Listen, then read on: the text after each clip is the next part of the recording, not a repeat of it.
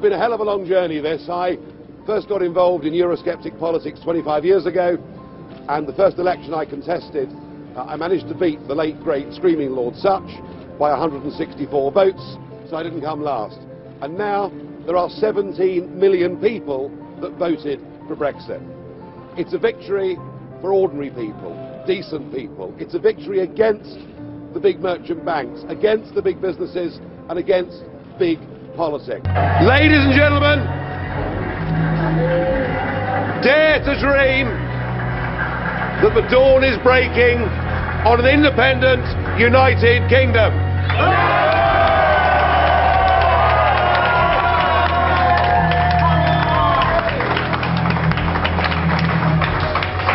This, this, if, if the predictions now are right, this will be a victory for real people, a victory for ordinary people, a victory for decent people.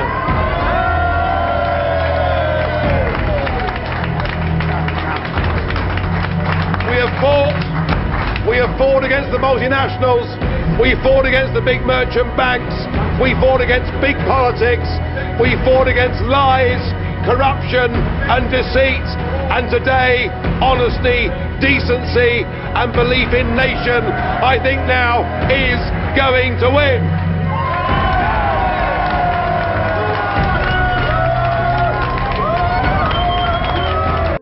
I came into politics from business because I believed that this nation should be self-governing.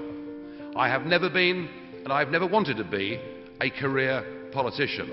My aim in being in politics was to get Britain out of the European Union. That is what we voted for in that referendum uh, two weeks ago. Uh, and that is why I now feel that I've done my bit, that I couldn't possibly achieve more than, than we managed to get in that referendum. And so I feel it's right that I should now stand aside as leader of UKIP. I will continue to support the party. I will support the new leader. I will watch the renegotiation process in Brussels like a hawk and perhaps comment in the European Parliament from time to time. I'm also very keen uh, to help the independence movements that are springing up in other parts of the European Union because I'm certain of one thing, you haven't seen the last country that wants to leave the EU.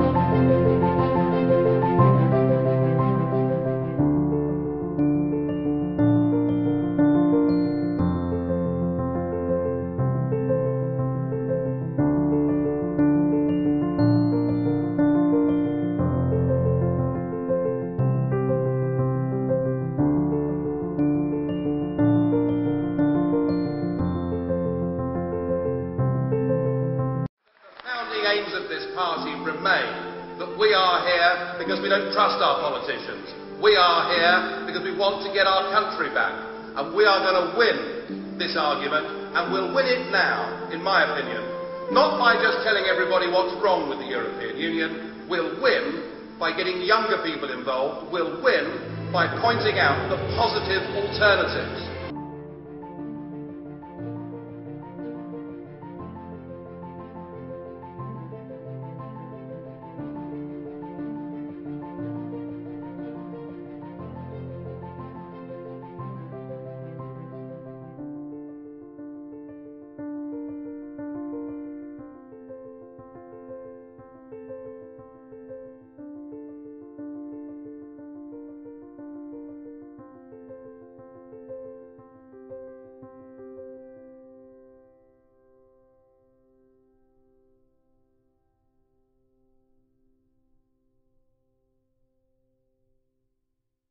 Lovely, thank you. I want to take you straight to Torquay, where the result is about to be announced for the new UKIP leader. Uh, let's listen in um, to what Steve Cram I'm going to give has to say. the number of votes cast along with the percentage of each candidate. In second place, with 2,755 votes, 21.3% of the vote share, was Anne Marie Waters.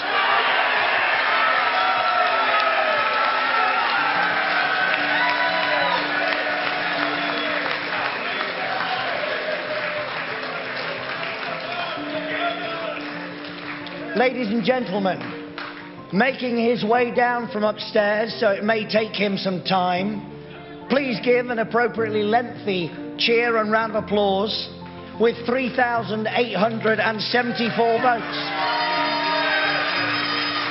And 29.9% of the vote share, the new leader of our party, Henry Bolton.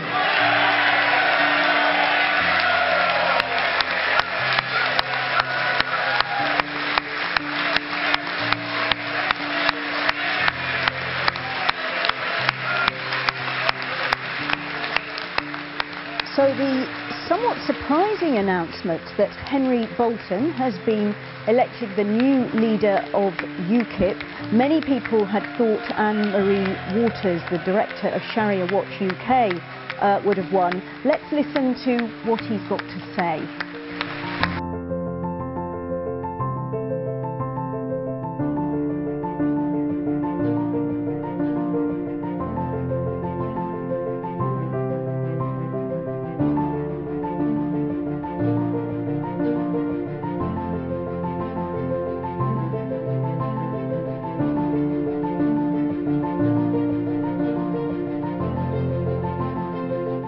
Yes, Sergio, from one lion to another, because you may have seen yesterday uh, UKIP have a new leader, leader and they have a new logo, a lion. So we're speaking to, for his first national broadcast interview since becoming leader, to UKIP's new lion, Henry Bolton.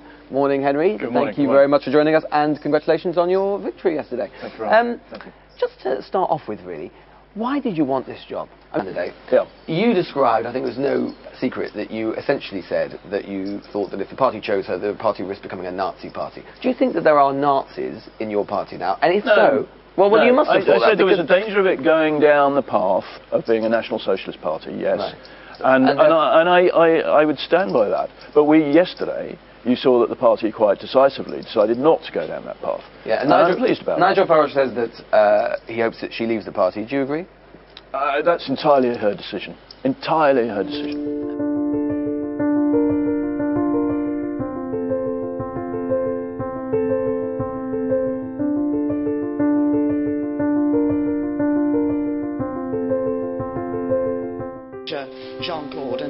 As President Juncker has said, we have had a constructive meeting today. Both sides have been working hard in good faith.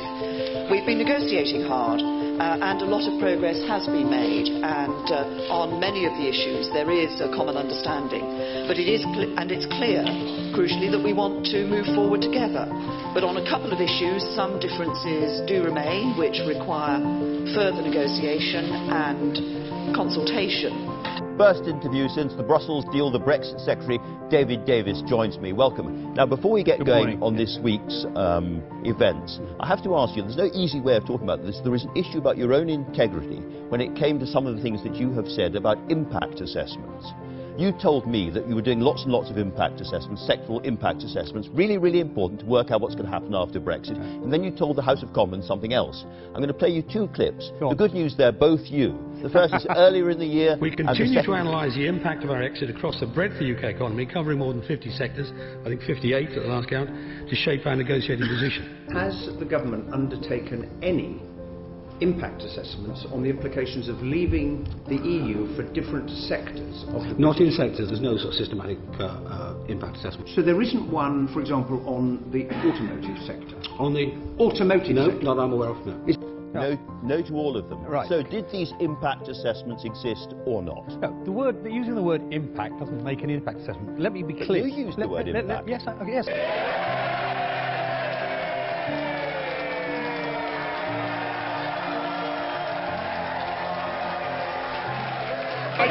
Let's make sure the result is correct. The ayes to the right, 309. The noes to the left, 305.